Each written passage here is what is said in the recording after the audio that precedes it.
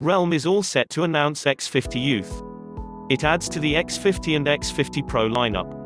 The X50 Youth will have the same X50 design and will have the same quad camera setup on the rear. The X50 Youth comes with a 6.55-inch display with 5G connectivity.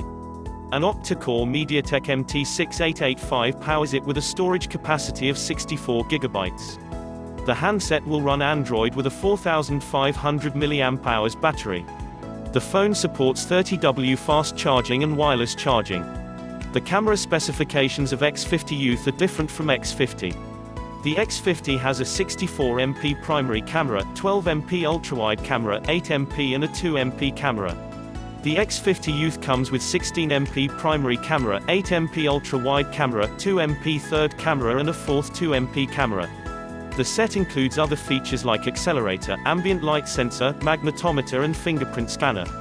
The X50 starts at a price of $350, and thus X50 Youth is expected to be priced below this range. Thanks for watching, please subscribe for more upcoming videos.